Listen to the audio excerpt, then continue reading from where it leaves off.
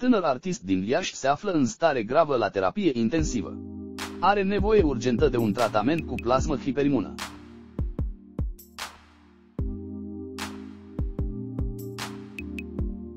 Silviu Huțanu este un cântăreț din Iași, solist al trupei Soundcheck Band. În vârstă de 37 de ani, Silviu trece acum prin momente extrem de dificile.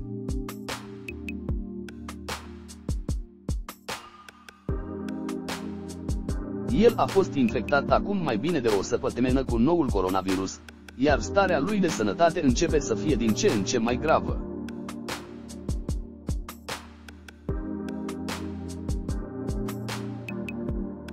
El este internat la terapie intensivă la Spitalul de Neuroirurgie din Iași. Șansa lui cea mai mare pentru a putea învinge acest virus este un tratament cu plasmă hiperimună.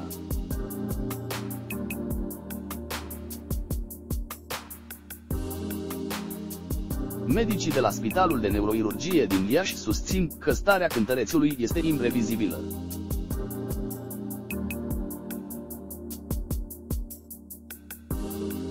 Singura lui șansă este tratament cu plasmă hiperimună, care ar putea să-l vindece sau ar putea nici măcar să funcționeze.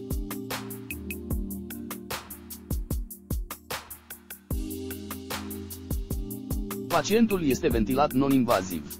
Din păcate, starea unui pacient internat în secția de terapie intensivă este imprevizibilă.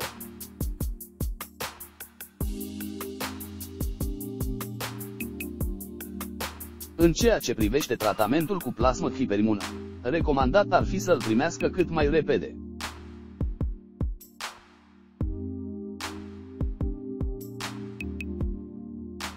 La unii pacienți funcționează, la alții nu se observă rezultate, dar trebuie încercat absolut tot ceea ce ne stă în putință, a declarat purtător de cuvânt la Spitalul de Neuroirurgie din Iași, medicul Florin Grămadă.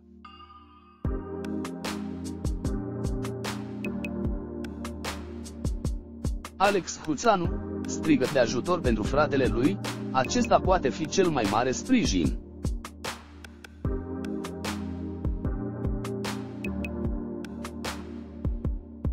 Familia și prietenii lui Silviu Huțanu au postat mai multe mesaje și fotografii cu artistul, prin care cer ajutorul pentru a-i putea salva viața.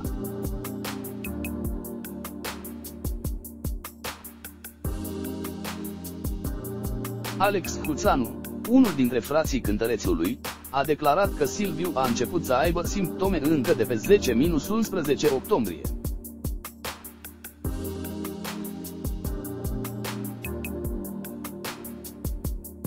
De atunci, starea lui s-a înrăutățit și orice moment îi poate fi fatal.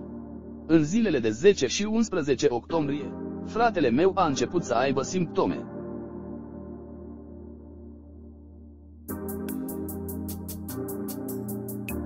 Simptomele au debutat cu febră și stare generală de rău. Luni, 12 octombrie, a mers la Institutul Regional de Oncologie din Iași pentru a-și face testul PCR, testul de depistare a infecției cu COVID-19.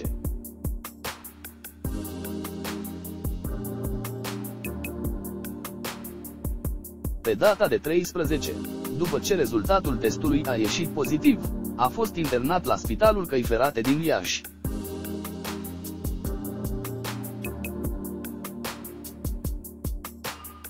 Pentru că starea lui s-a înrăutățit și avea nevoie de mai mult suport de oxigen, medicii au decis să-l transfere la secția de terapie intensivă de la Spitalul de Neuroirurgie din Iași.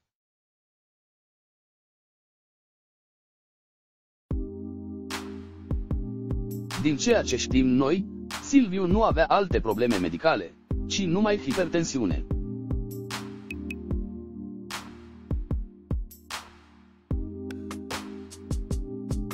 Vă rugăm să fiți alături de fratele meu și să mergeți la CRTS pentru a dona plasmă hiperimună.